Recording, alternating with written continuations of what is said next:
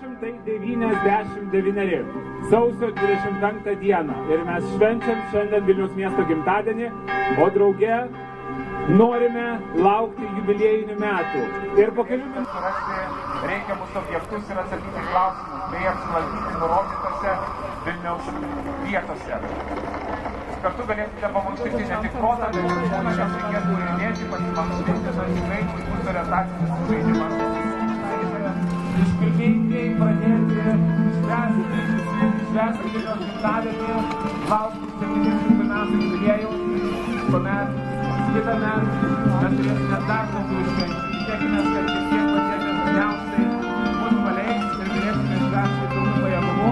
O dabar būtinai prašome laikytis saugaus atstumo, rekomenduojame dėvėti kaukės ir saugiai švęsti Vilniaus miesto gimtadienį. Tik kaip sakiau, būkite atsargus, kai kur slidžios plytelės katedros aikštėje ir laikykitės visi saugaus atstumo. Ir ateikite čia prieš sceną, jeigu norite pirmieji pamatyti, kai jo vardas Dundu,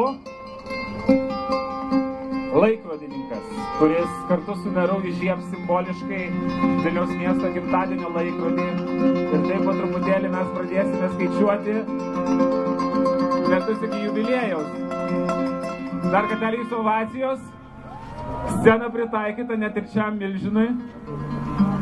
Sveiki gyvi visų pirma susirinkę, aišku, iš karto sveikinu ir su šių metų švente 699 metais ir su laukimu ir pasiruošimu kitiems metams. Ačiū šitam šviesos žmogui, kuris mus aplankė. Man atrodo, ne tik tai... 700, 600, 500, 400, 300, 200, 100. Startas!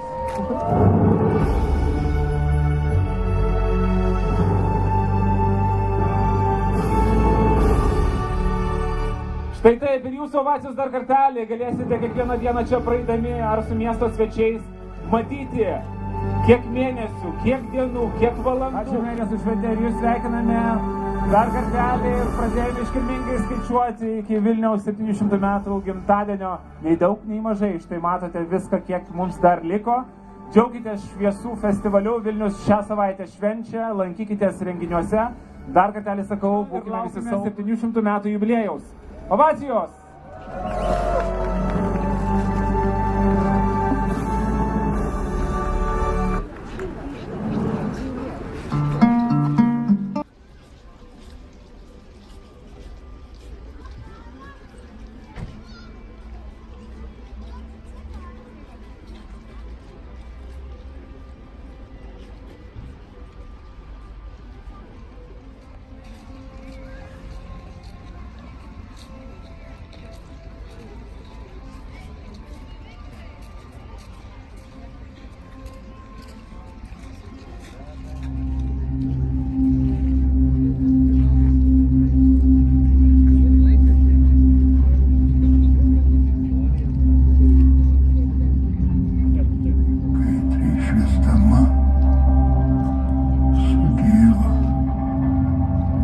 como calhau, sim.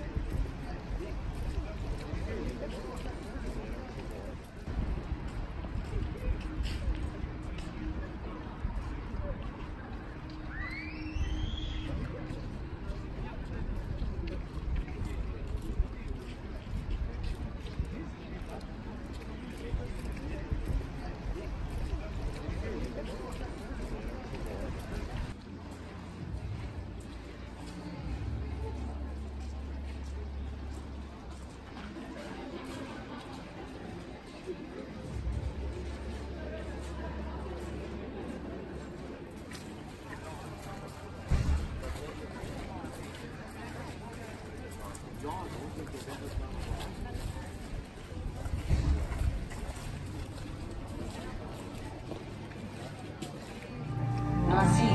we must send clear message we will support Ukraine.